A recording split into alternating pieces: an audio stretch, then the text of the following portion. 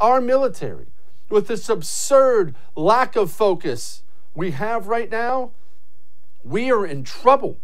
We were in deep, deep trouble by the time Barack Obama left, when he put in all these political people and he put in all this social justice crap all throughout our military. It got really bad under Obama. I had a bunch of friends who were still in who got out under Obama. They couldn't take it anymore. So that was bad enough.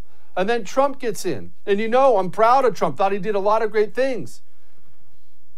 He did not understand the problem, the deep, deep internal rot within our military. So there was no clean out. So it got worse. And now Trump loses. Joe Biden gets in. We're doubling and tripling down on everything. It's really bad. And now, I mean, as it, as it stands right now, what are you and I doing? We can yell about this. We can yell about that. I don't like the National Guard troops in D.C. I mean, you see the National Guard troops. We still have thousands of National Guard troops guarding the Capitol against three dorks in an internet forum. It's the stupidest thing in the world. But that's just a minor thing, really, right? What, what do we do when it doesn't become a minor thing anymore? What do we do when it becomes something else?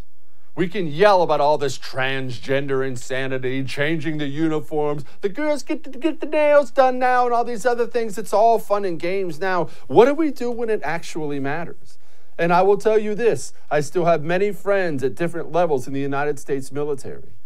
You don't understand how significant the problems are.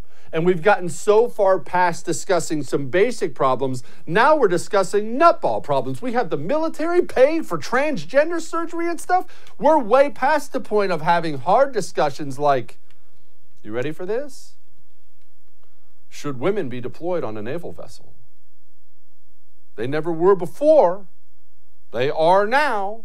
You're not allowed to say anything publicly if you're in the military. That's why you can't find anything printed on it. But it's a humongous problem.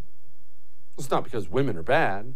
It's because women are women and men are men. And when you throw a bunch of 18, 19, 20 year olds on a gigantic ship and send them out to sea, things are going to happen. And from those things, drama is going to happen. And soon, it's the days of our lives on an aircraft carrier instead of focusing on killing communists. That's what's happening now.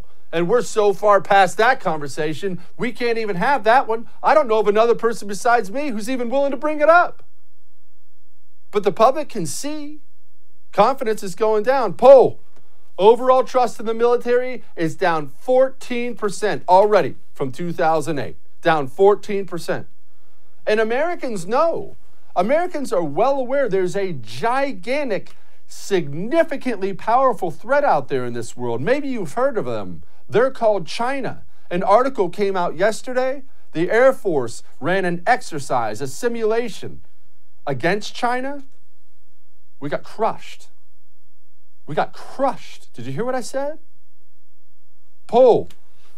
Americans know China is the biggest threat. 37% believe China in 2021 is the greatest. It's actually said that that's not 99%.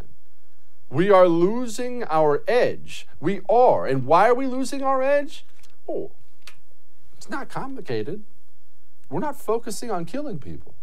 That makes people uncomfortable. I know you know I do that every day anyway, but the military's job is to kill people and break things. They're not librarians. They're not your little league t-ball coach. They're not your Sunday school teacher. The United States military's job is to kill the enemies of the United States of America. That's their job. There's not a second job either. That's their one job. That's the one job of every military, of every nation in the history of the world. If there are enemies, go kill them so they can't kill your people. Our people? Why are we falling behind countries like China? Well, China's giving their young men masculinity classes. We've lost our mind and focusing on everything else that doesn't matter. Hey, thanks so much for watching the first on YouTube. If you liked what you saw, go ahead and like and subscribe. You heard me, like it, subscribe. You'll get a lot more of it and a lot more of me.